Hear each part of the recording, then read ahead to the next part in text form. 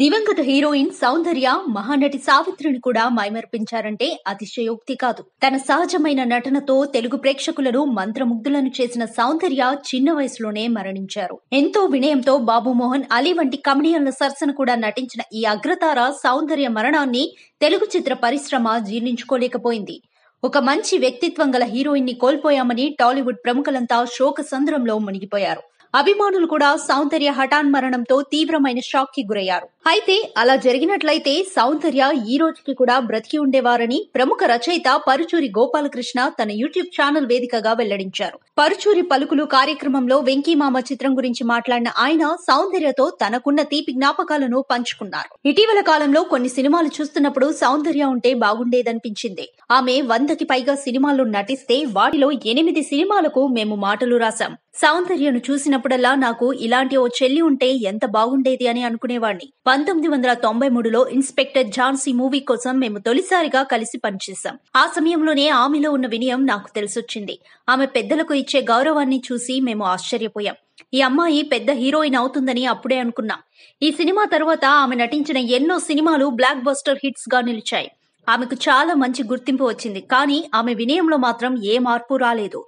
గర్వం కూడా ఆమెలో అనువంతైనా పెరగలేదు. సౌందర్య మరణాన్ని నేను అస్సలు మర్చిపోలేను. నేను డాక్టరేట్ అందుకోవాలన్నది మా అమ్మ కల. అందుకే నేను సాహిత్యంలో పీహెచ్డీ చేశాను. రెండు వేల నాలుగు ఏప్రిల్ పదిహేడున నేను సాహిత్యంలో డాక్టరేట్ అందుకోవడానికి ఉస్మానియా యూనివర్సిటీకి వెళ్ళాను ఆ సమయంలోనే ఓ విలేకరి వచ్చి హెలికాప్టర్ ప్రమాదంలో హీరోయిన్ సౌందర్య చనిపోయారనే హృదయ వికారమైన చేదు వార్తను నాకు చెప్పారు. ఆ వార్త తెలియగానే నేను దిగ్భ్రాంతికి గురయ్యాను. నాకు చాలా బాధగా అనిపించింది. ఆమె ఇంత చిన్న వయసులో చనిపోతారని ఎవరూ ఊహించలేదు. నిజం చెప్పాలంటే సౌందర్య ఆ రోజు విమానంలో రావాల్సి ఉంది. కానీ ఆప్తమిత్ర తెలుగులో నాగవల్లిగా వచ్చింది. మూవీ షూటింగ్ కారణంగా ఆమె ఎక్కాల్సిన విమానం మిస్ అయింది. ఇక చేసేదేమీ లేక ఆమె హెలికాప్టర్లో తిరుగు ప్రయాణమైంది. ఒకవేళ ఆమె షూటింగ్లో పాల్గొనకుండా విమానాన్ని త్వరగా అందుకున్నట్లయితే ఈ రోజున ఆమె బ్రతికే ఉండేవారు.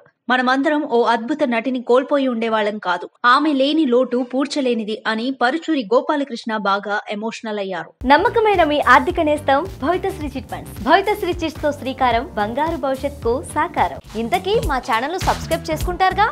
గంట కొట్టడం మాత్రం మర్చిపోవద్దు. Hello guys, this is Vinay Kuya. Hi, నేను మీ Sonakshi Varma. Hi, this is Avantika. This is Daystar Gopal. please uh, like, share, and subscribe to Please subscribe it. Please subscribe to. Please subscribe to. Like, share and subscribe to. Top Telugu TV. Top Telugu TV. Top Telugu TV. Top Telugu TV. Top Telugu TV. Top Telugu TV.